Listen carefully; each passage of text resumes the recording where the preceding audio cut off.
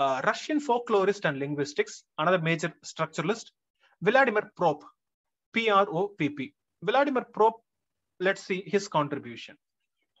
So Vladimir Propp, now structuralism goes to Russia and folklore. So structuralism started with the Saussure, linguistics, it, broad field, semiology. Then we have uh, Levi-Strauss anthropology. Now we are moving to folklore, folk studies, you know. Uh, uh, so this guy, Vladimir Propp, came up with this book, which is his masterpiece, still read by folklorists, Morphology of the Folk Tale. And the word morphology, uh, structure, when you say structures, it's more to do with syntax. Morphology is uh, individual forms, right? morphemes. We study individual word units. So similar way, we are going to look at story units of folktale. When we say folk tale, you know, there are a lot of folktales uh, across the world. So first attempt, a kind of a structuralist attempt. So we are going to study the basic units of a story. And uh, Vladimir Propp uh, studied Russian folk tales in general. So that was his focus. More Slavic folktales, uh, Russian, right? So he came up with 31 narratemes like phoneme, morpheme. When we say eem, short form. So narratology, art of storytelling, narrative, story. So narrateme, basic unit of a story, 31. So number one. So in this book, uh, the earlier book, Morphology of the Folktale, there is a particular chapter called The Functions of Dramatis Personae. Okay. So here he talks about some of the features, narratemes. One more thing I have to tell you, this is not the order in which you have to create folktales. A particular folktale need not have all the 31 narratemes. You have to understand. It, this is a general idea, kind of a competence, okay? Kind of a repertoire. Uh, 31 narratemes. Sometimes a particular folktale uses three or four. Sometimes more than four or six, right? You go beyond 10. So there are different combinations, but the list we are going to have is a general one, like a competence or langue. Okay. So this is a kind of a langue. So number one, any folktale or some folktales, you have this feature. First one, absentation. So one of the members of the family absents himself from home. This is one of the features. What happens? So if there is a family, then uh, kind of a hero and uh, his mother, and the father is missing, and mother says, "You know what happened?" Kind of a flashback. Now the son goes on an adventure to retrieve the father back, uh, who is imprisoned somewhere else, right? So this happens in folktales or stories in general. A son or a daughter tries to save the family or the other way around okay? Or other way you have the son or girl is uh, abducted a childhood and they try to save or try to find out that. So this is one of the features absentation then interdiction. This is another feature you see often in uh, stories folk tales or other tales.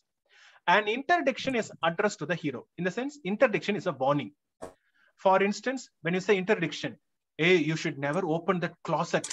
You should never open this. You should never do this. So we have this um, interdiction in the sense warning. For instance you have this famous french tale blue beard. Uh, uh, you might have heard this uh, folk tale. Blue beard b-e-a-r-d he's a cruel man but uh, he has married a wife i mean new girl here now and only one warning. He gives the now the bunch of keys to uh, keys to her and tells her never ever open that room. That key, that arouses our curiosity right? So that's how uh, one of the features in folk tales they give a warning.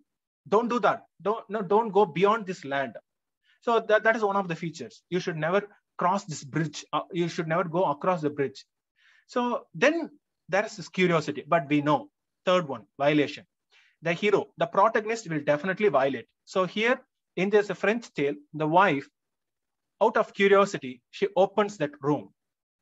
And what she finds out? Dead bodies of the earlier wives of this man. Now she understands her husband is actually a murderer, a kind of a misogynist. Now she has to plan well to escape from him or she is going to die like that. So what's her fate? Find out.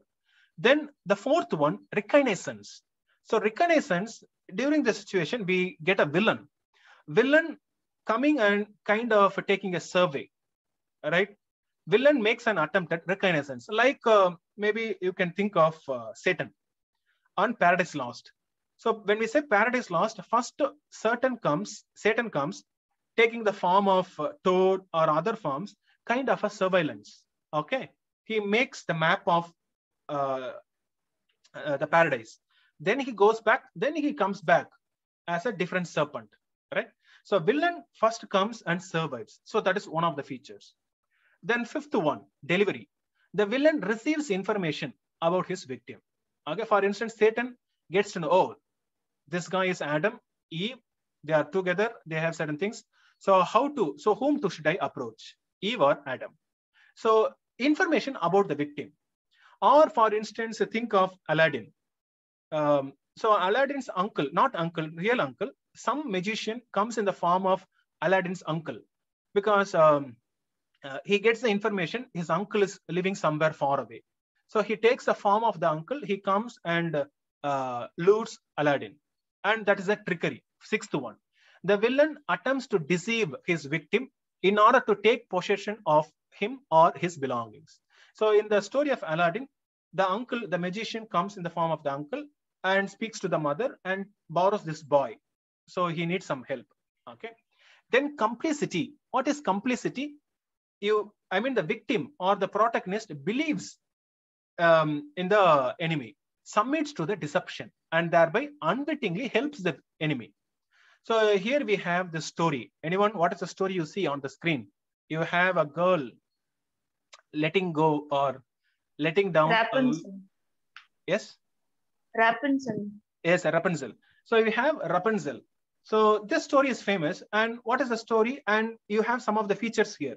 Here is a girl, Rapunzel, who is abducted by this witch. So first one, absentation. She is abducted and put in the tower, right? And only one warning.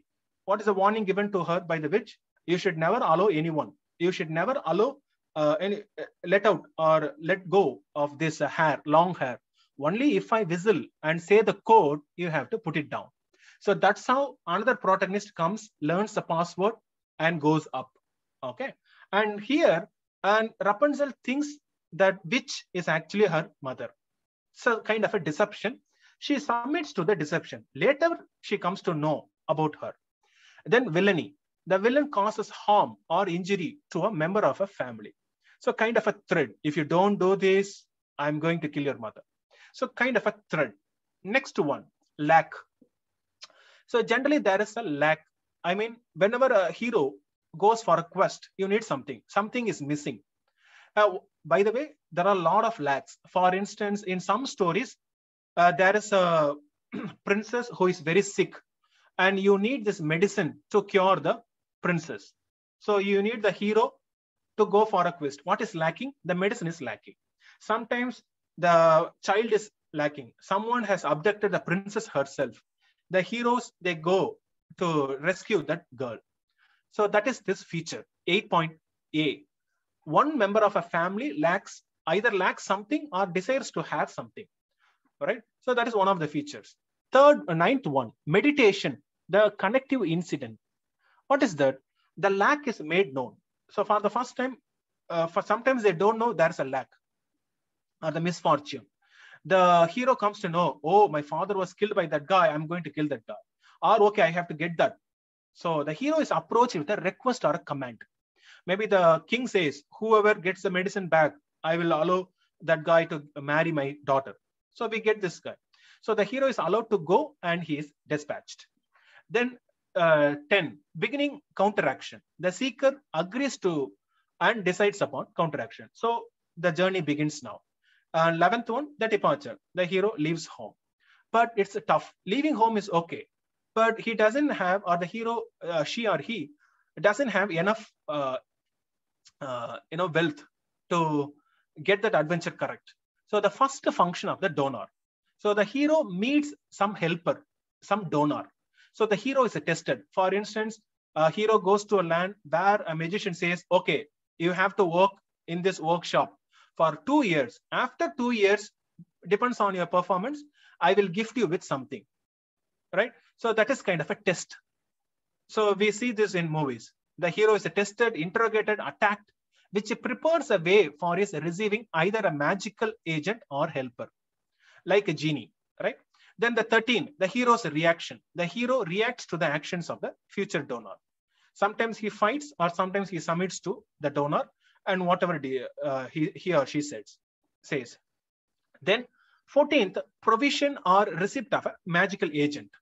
The hero acquires the use of the magical agent, like a genie, right? Aladdin gets that, uh, you know, he goes to the cave and he gets that lamp and he knows the truth and he rubs out and here is a donor, okay? Then 15th, now the hero gets an agent, but the hero is yet to you know go to the uh, destination. So the hero has to move from one kingdom to another kingdom. So the hero is transferred, delivered, or led to the whereabouts of an object of. So you have a flying carpet or a horse. You get some means of transport to move from this place to another place. And with the help of the donor or that magical object, you move. Then the struggle. Then you meet the villain in that strange land. The hero and the villain join in direct combat. Then in that fight, first the hero is wounded. You know, branding or marking. That is the 17th narrateme. Uh, a kind of a mark. You know, he, is wounded. Victory. Finally, the villain is defeated. Right. Then 19th, liquidation of misfortune or lack. Finally, he gets the initial misfortune or lack is solved. He gets what he wants. The hero gets. Then the written process is very quick in any movies for that matter, or the initial process, how they go. You know, he, uh, the, he meets a donor, gets a magical instrument, a kind of a transport fine. But written is very quick. The written uh, hero just comes back. And on the way, there are a lot of uh, problems, pursuit or chase. The hero is pursued by other villains or the major villain. Then the rescue of the hero from pursuit. So he fights and tackles or hides. So here is only a rescue. Someone rescue the hero and the he, uh, that guy or girl hides the hero from the villain. Then um, now uh, 24, 23, unrecognized arrival. Now the hero comes to the land back unrecognized in the form of a servant or a maid or a cook.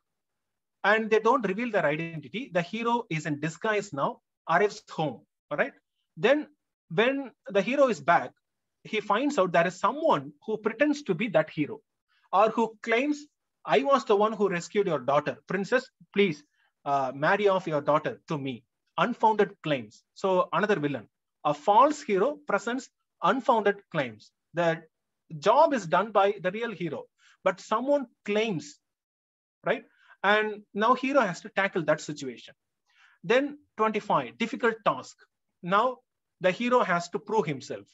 Sometimes they are asked to break a bow, like in Ram, Ramayana, or some other task. You have to ஏழு கடல் தாண்டி போகணும் or you have to cross the seven oceans or seven seas some tough task is given and finally uh, solution the task is resolved and because of that the hero is recognized so this is recognition and the false hero or villain is exposed they are also in disguise the exposure now hero is rewarded the hero is given a new appearance no longer a cook so the hero is given a home wealth and get married kind of a situation and punishment the villain is punished and finally kind of a wedding happy ending the hero is married and ascends the throne so these are the 31 narratemes by Propp, Vladimir Propp. Okay. I hope it's okay. So this is a structuralist analysis.